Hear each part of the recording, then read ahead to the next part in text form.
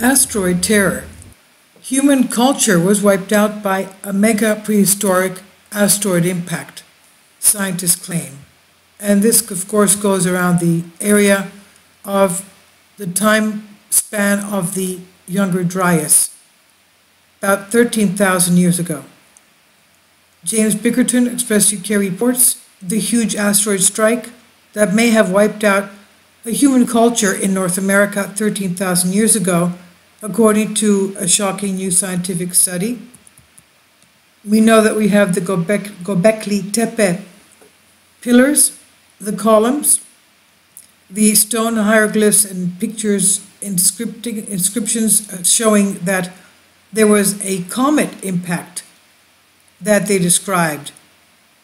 And uh, there are many people that believe that after those pillars were erected, that they were intentionally hidden with uh, soil and debris. It's my belief that they were not hidden, that there was an asteroid impact that caused a mud flood or tsunami that brought in all that material and covered up not only that area, but other parts of the earth as well. One of them being perhaps what buried the Sphinx in sand all the way up to its neck. Now, concerning North America, the survey blames an asteroid impact for triggering the Younger Dryas period in Earth's history. That's when temperatures declined rapidly. This has been linked to the extinction of numerous animals, including giant sloths in South Africa and even mammoths in Europe, and we'll talk about that later, how they found the um, undigested buttercups in the mammoth's body because it was so quickly frozen. Now, at around the time of the Clovis people, an early North American culture that vanished from record, similar disappearances took place in Africa during that time period, indicating a catastrophic global event. And uh, this seems to have been happening many times in the past. It's not just 13,000 years ago. And uh, the team of scientists believing platinum deposits dug up in Wonderkrater, South Africa, support the asteroid strike theory. This matches similar deposits found discovered at 28 other sites worldwide. The deposit suggests dust with high platinum content was thrown up 12,800 years ago, which would be consistent with a powerful asteroid strike. Temperatures on Earth plummeted between 12,800 uh, BC and 11,700 BC, which could be connected to an asteroid impact. The uh, study was published in the Paleontologia Africana academic journal.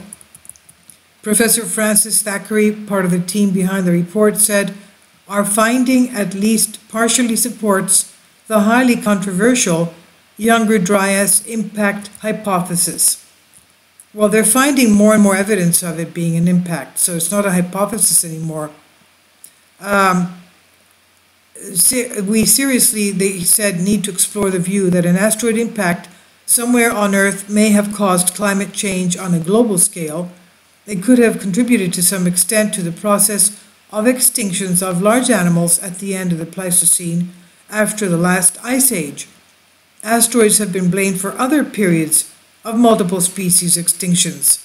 The Cretaceous Paleogene extinction event that uh, took place 66 million years ago, that was the asteroid strike blaming uh, the extinction, blamed on for the extinction of the uh, dinosaurs that struck in eastern um, Mexico at the Yucatan Peninsula.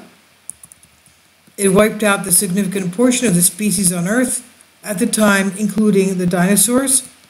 Now, commenting on his research, Professor Thackeray said, We cautiously hint at the possibility that these technological changes in North America and on the African subcontinent at about the same time might have been associated indirectly with an asteroid impact with major global consequences. We cannot be certain, but a cosmic impact could have affected humans as a result of local changes in environment and the availability of food resources associated with sudden climate change. In November 2018, scientists found a 19 mile wide asteroid impact crater in Greenland.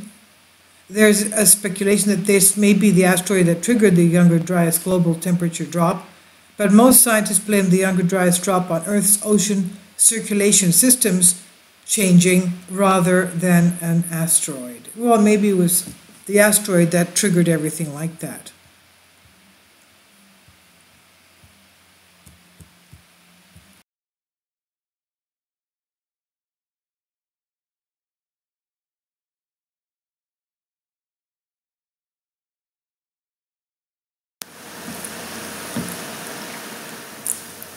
If you'd like to join me on my Patreon account, you will hear content not covered by mainstream media.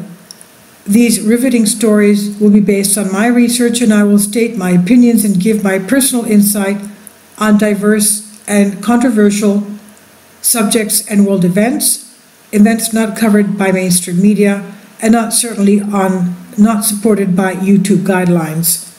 So whatever I have on my Patreon, most of those will not be on my YouTube channel. Please consider becoming a member today. More of the, the most significant and important videos will be on my Patreon channel. Your support helps me to continue my research and keeps this YouTube channel alive. And we depend on your support, your generous charity, because we help economically challenged families here in Athens, Greece in and we also help the young generation with university tuition and the community around our church. Thank you.